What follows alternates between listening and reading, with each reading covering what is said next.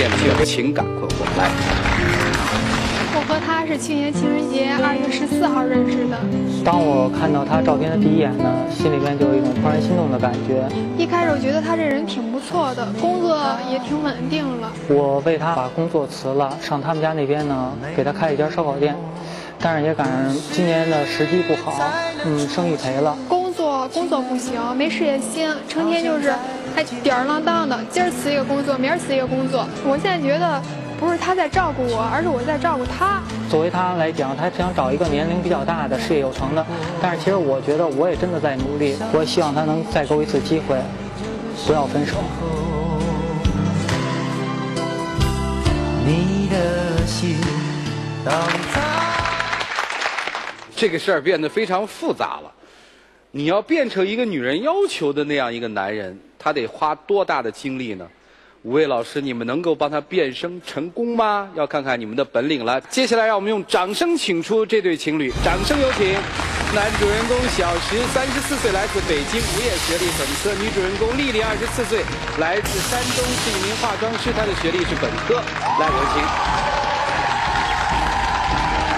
好了，欢迎两位哈。你男朋友比你大十岁是吧？对。你们俩是怎么认识的呀？朋友介绍的。当时觉得他比我大十岁嘛，应该说事业挺稳定了，挺能照顾我了。嗯。然后这样就同意了。那你觉得三十四岁的这个男人够成熟吗？特别好高骛远，不成熟。好嘛。没有一点责任心。好高骛远怎么解释？不成熟又怎么解释？没有责任心又怎么解释？你看他工作的话，啊，呃，他今儿找一份工作，然后干不了两天，然后辞了，说这份工作怎么怎么不行。我辞工作，我觉得我是为了你。等等等等，你们先别吵啊，先我先听听他的这个描述啊。还有呢？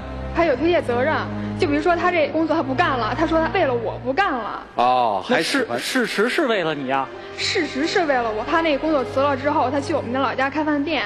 我不同意他去，他没经过我同意就把工作给辞了。你没有经过姑娘同意就把工作辞了？但是他曾经说过一句话，他说在北京的生活压力太大了，因此这样我才把我自己的原有工作辞掉，完了以后上他们家那边开了一家烧烤店。我说北京压力大，我是想激励他，让他好好工作，多挣点钱。嗯。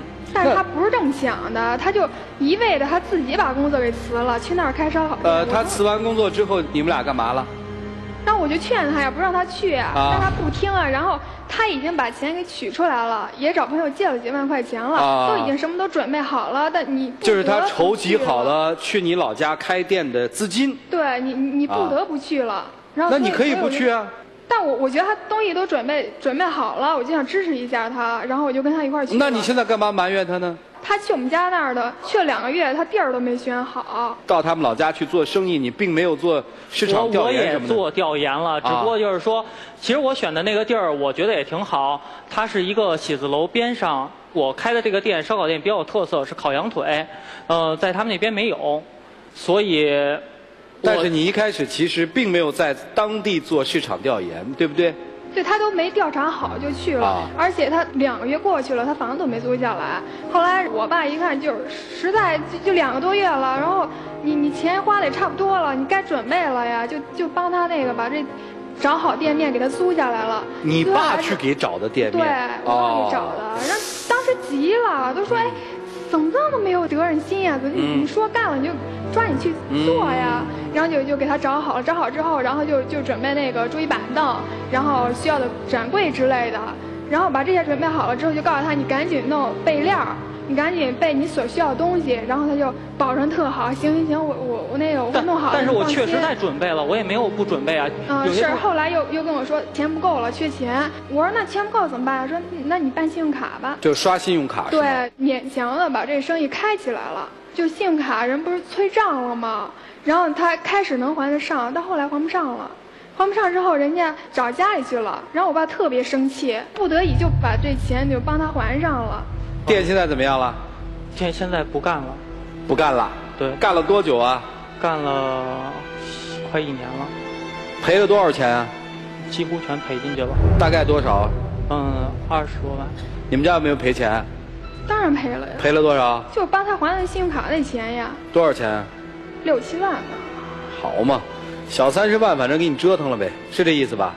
你干不了这这生意就别干，对哎，不对？你不对呀，他是为你才去干的呀。我，我不是这么想的呀。你说一个女的，她谁不想自己的男朋友多挣点钱，能够撑起一个家呀？对，虽然说女的也得挣钱，但是这男的不应该多挣点儿吗？更应该撑起这家吗？嗯就两个人互相合作呀。你为什么就你嘴里老是钱钱钱的呀？那当时我跟你交往的时候，你怎么没有这样过呢？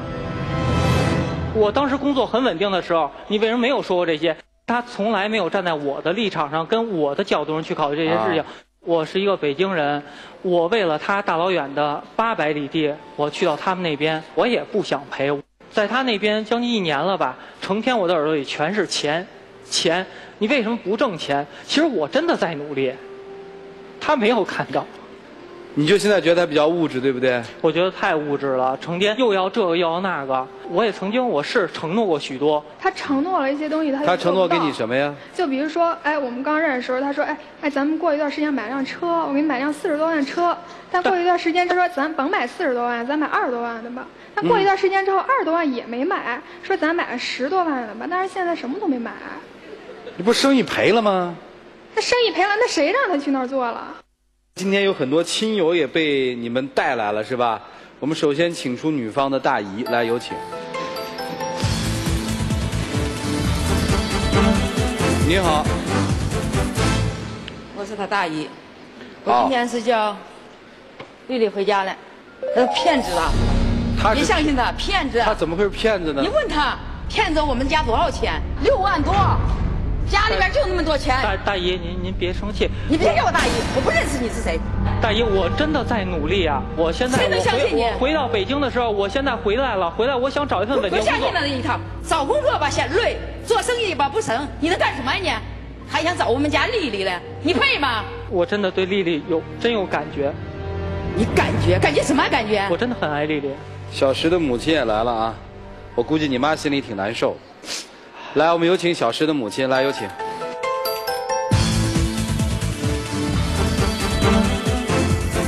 你好，你好，来站。今年我听我儿子在这儿，我实在有点看不下去。你还看不上了？我儿子就因为他离开北京了，我们就这么一个儿子，他就看我们家儿子是北京人，北京有什么好处啊就一点？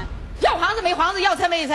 其实我不是因为他是北京的，我才跟他在一块儿，我是开始觉得他是人你听见，他说他他们家出了六万块钱，你拿多少啊？我们家这是你儿多少钱中借西你，这样说骗来的甭管借的是最后谁还呀？拿我们家的钱都看好，钱这以后谁还连坑都没坑。别吵了，这还没结婚呢，你们两家人就吵成这样，这结婚谁跟他结婚？美了吧他？可以啊、不结不结，我早就不想让结。听出来了，两家家长的意见您是不同意的，是吧？对对您代表他的父母也是不同意的坚决不同意。现在就是目的说得得了，回来就回来吧，就这样了。啊。觉得那儿干不好又赔钱，主任，我我母母亲身体不不算太好，嗯，我心脏不好。您回去吧。怎么了？谁没个难，谁没个坎儿？小伙子想跟这姑娘好好过日子，去家里面做点生意，家里人帮着照顾打理一下。你看他那个样，能吧？干什么什么不起？您回吧您先下去，我们跟跟两个孩子聊一聊，好不好？那好吧，我特别想问姑娘一句：当你的大姨这样面对你的男朋友的时候，你心里是什么滋味？其实我也挺不好受的。我们客观的把这件事情再重新的梳理一下啊，他是鲁莽了一些，对不对？但是他的心是不是好心呢？那么凶干嘛呀？咄咄逼人，还有你哭什么呀？三十四岁啦，我觉得付出太多了。谁让你付出的？自己愿意呗。我是看不懂他们这个情感了，还是听你们的意见吧。一起进入丘比特问卷。来吧，曲总，你先说说吧。我想先跟这个男生说说，你三十四，你比我小啊，不光长得显小，你就这么流眼泪，而且刚才你在台上说的每一句话都非常的没有力量。如何能提高自己的能力呢？两方面，第一方面，你的责任感，你这种责任感不是空话，说我爱你，我喜欢你，不是，你要用你的行动来证明看这个女人她择偶她要的一种安全感，你能给她。另外一个生存能力，我觉得你有一些好高骛远，你没有清楚自己到底能做什么，自己擅长做什么，或者做哪些是可以帮助到这个家庭的。你去盲目的、很盲目，你就追随他到了他的家乡，然后去开了一个。但是我我觉得我是在一种尝试。这种尝试我们要考虑投入产出比的，要考虑一个我们承受的能力程度的。倾其所有去尝试一件事，你不觉得这是你不成熟的表现吗？所以你要脚踏实地的，不要太好高骛远，从最根本做起。好不好？用你的行动来证明你是可以给他这个女人以及她家庭一个安全感的。你是一个有责任、有能力的男人。这个女孩儿我可能能理解你们现在对她的态度，基于你们其实为此付出了很沉重的一个财务的压力，对不对？但是咱们把财务和爱两方面来看，你还爱这个男人吗？其实我挺喜欢他的。那你会因为暂时的这个财务上的损失，你会抛弃他吗？其实我的要求挺简单的，我就希望他不再这么就是好高骛远，不再这么冲动，成熟一些，然后把自己的事业搞好。因为我们现在都不小了，面临的事情很多，我就希望他能够就改善一下自己。其实，在这方面，你比比你将近大十岁的这个男人好像还要更成熟一些。我的做的一点错都没有。嗯，就是我也这么想。你说人家把家里那点钱全拿来了，然后找这姑娘，肯定是特别喜欢她，而且想跟你在一起。我知道她为什么哭，她肯定她觉得她委屈啊。你看我都为了你，你看你们家人还都说我，肯定心里特难受。生活当中其实就选择的过程，没准我今天选择对了，那我今天就对了，没准就给你买上那四十万的车了。那他没选择对，那你连四万块钱的车也没坐上，那有什么呀？生意不就这样吗？对，赔了咱们再赚呗。对呀，是吧？实际上，我觉得这个男孩三十四岁，他应该有一定的判断力。我相信这个女孩也是对他说：“我可以原谅你一切一切，但是我需要你有一个正确的判断，对任何事情有个正确的对得起你这个呃三十四岁。”我我是觉得这个男孩这个方面可能有点弱，那么这导致这一切一切事情的一个恶性循环。我相信他大姨。包括他，还有他妈，他他他们家人，我相信不会说因为这个男孩真的是不会做生意了，怎么怎么着怎么着，呃，对他有意见的，或因为六万块钱是这样的，我相信不会有这样的家庭，只是因为他的判断力跟他的年龄不成正比。嗯，我是这么认为。我跟他其实差不多同年，但他长得比我嫩多了。其实我一直觉得你俩没问题。他为了女孩花那么多钱，他跑到他的老家，那说明确实是很大一部分是为了他。嗯，这女孩虽然一直好像是蛮厉害的，其实也没有太多的指责他要他还钱，没有说要他还钱。没说要还钱。女孩一直没说，女孩的唯一的要求就是你改掉以前那些什么冲动的毛病，是吧？好好找个工作，这个是很正常的要求吧？你们两个有问题吗？你们所有的问题都来自于外部。然后我们来梳理一下，这个男生可能是一个。小男人，或者说不不是特别厉害有用的男人，他看上了一个特别好的女孩，他觉他在这个女孩面前有强烈的自卑心，所以他一开始的时候把自己说的挺好，说我以后能买车，以后能买房，也能理解，可能说的有点好过头了。交往了一段时间之后，哎，这个女生会觉得，那你骗我嘛，是吧？那个你的车、你的房呢？然后这个男生觉得，哦，我之前的话说大，那怎么办呢？他觉得我在北京这边怎么发展都可能达不到你要的物质要求。这个时候你要注意，你的自卑感夸大了他的物质要求，他的物质要求可能没那么大。在这个时候，你觉得在北京可能做不到这个，然后你就决定孤注一掷，赌一把，把所有的钱都砸到哎女孩子那边去。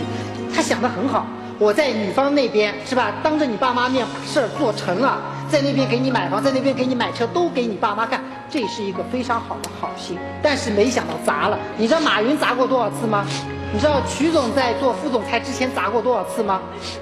你知道涂磊老师今天成为著名主持人之前，他经历过多少事情都砸。我跟你说，我被债主逼在家里面，欠人钱不多，就是过年的时候堵在家里面，也都经历过这种事儿。其实我我想跟这个男生说，听了他半天，他对你要求不是特别多。两个字，靠谱。那什么是靠谱呢？我告诉你，有正确的计划，有赚钱的能力，有坚持的勇气，有收拾残局的责任心。你做好这四点，就是一件靠谱的事情。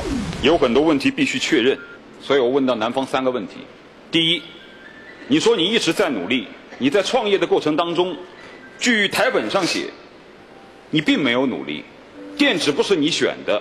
去了两三个月以后，一直是玩，也没有去做有关的筹备工作，锅碗瓢盆什么都不买，是不是这样？因为第一次开店嘛，有可能有些东西，嗯，没有经验。但这是最基本的呀！你开店你要锅碗瓢盆，你都不知道啊？这是最基本的呀！没有要求你很高，一定要做，第一次做生意一定要成啊！你既然认认真真去做一个东西，你该做的东西要做，你店址你得去选呐，什么考察之类的你不懂，我不说你的。锅碗瓢盆你都不买，你看什么店？第二，吹牛说大话有没有说过？说买四十万的车，买什么电脑有没有说过？我给他买了一个笔记本。好，你有多大能力办多大的事儿，男人稍微吹点牛也可以理解。第三，三十四岁的年纪了，既然打算要结婚，为什么不存钱呢？台本上说你每天就是拿钱在外面花天酒地，是不是真的？有可能我回来会跟我的一些好朋友，因为熟人多了好办事嘛，所以。好吧，这我也理解你。我不认为成熟是到了三十四岁的年纪一定要有很大的成绩。我所指的成熟是到这个年龄应该懂这个年龄应该的事儿，至少看到你努力的状态。其实刚才他大姨上来说你的时候，我心里非常愤怒。我说骂的太惨了，这。但你真的是一个该骂的人。男人三个特点，最不好的习惯全沾到了：吹牛皮，不靠谱，好高骛远。其实生活当中有一种男人是让人又爱又恨的，就是你这种男人。他有激情和浪漫，他可以为女人掏光最后一个铜板，但是这种人却永远没有责任和恒心坚持下去。所以你永远只能给别人带来激情与浪漫，带来不了幸福与美好。你是有一颗爱他的心，但是必须付诸于实践。你头顶着梦想，但必须脚踏大地。而且最后我还有一句话送给你：说你小男人，说你的性格有的时候啊，这种喜欢哭、委屈、不够自信。一个男人如果要成功的话，不要让自己的性格驾驭了自己的能力。要不然的话，你真的一事无成。要用你的能力去驾驭你的性格，你才能够理性的对待任何事情。比如说，你对他的承诺；比如说，你将来工作的步骤；比如说，你将来对于人生的打算；再比如，你对于你母亲的孝顺。这个姑娘，我我觉得你得想她的出发点，她的出发点是爱你。当她最低谷的时候，她失败的时候，如果你真爱她了，你理解她，帮助她。姑娘，小伙子是喜欢吹点小牛，确实脚踏实地性差了点你既然那么成熟，你带着他走，你教他也行啊。我记得涂老师在这个现场说过一句名言啊，很多时候比我们小很多的女人。她们其实能给到我们很多我们自己都不了解的经验。他为什么会这么说呢？他夫人比他小，但是他说他夫人教会他很多，他一直就此感激，所以他得出了个结论。所以说，年龄不代表成熟。你成熟，你带着他走啊；你不愿意，你可以走。想好，你们自己表白。让我们一起进入今天的黄金六十秒。丽丽。我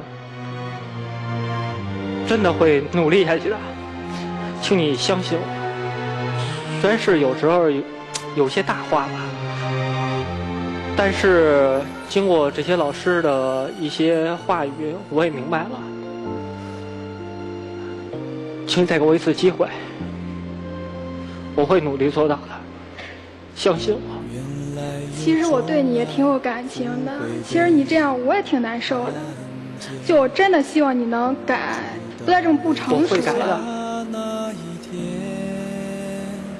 我真的会改，先找一份稳定的工作，完以后慢慢的发展努力，希望能陪着我。我其实不怕苦，我就是希望你能努力，你能真的说得到，做得出。我会的。再给我一次机会吧，请亮灯。我又想劝你别哭吧，我又想起了另一句话：“男儿有泪不轻弹，只是未到伤心处。”请回吧，两位。请回，请回，请回，谢谢你们。要不然你们抱一起，咱就订婚也行。能相信我这一次吗？都不愿意回，行还是不行啊？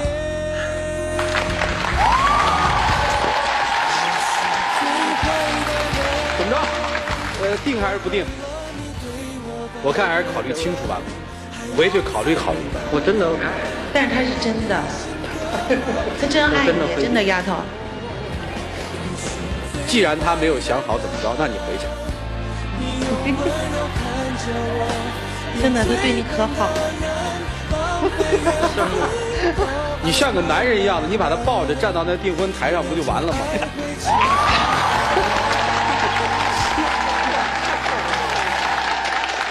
接下来让我们来见证这个被抢来的求婚时刻。来，让我们一起来见证一下。来，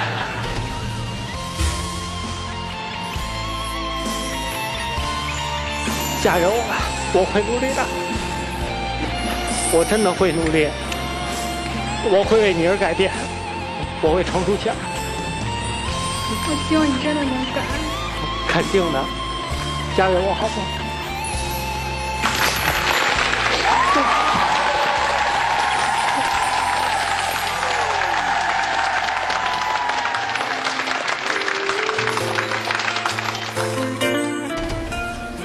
因为我不知道你求婚能不能成功，你知道吗？没让他们上来啊。拿着，那个戒指单拿着。好，回去谢谢你们啊。这是杰利亚为你们订婚送的杰利亚套装礼盒，那是天津东尼佩吉钻石给节目嘉宾订婚送的一个这个钻饰哈。姑娘，很正式的一件事情啊。答应他的求婚吗？你打定主意了哈？OK。来，有请大姨。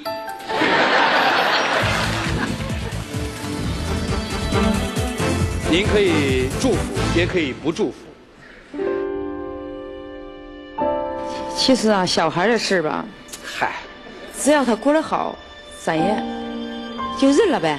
就冲大姨这句话，干个人样出来，行吗？行，您祝福一下。祝福你们和和美美的，谢谢。脚踏实地。哎呀，谢谢大姨啊，谢谢大姨！来，有请妈妈来。哎，这会儿怎么健步如飞的就上来了呢？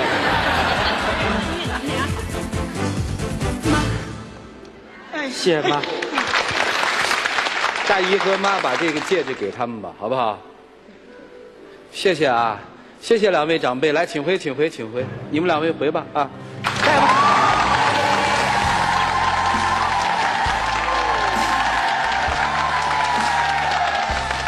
你要是不好好干，你多对不起涂磊老师他们。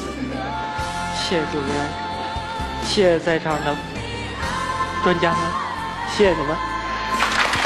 来，祝你们幸福，谢谢您。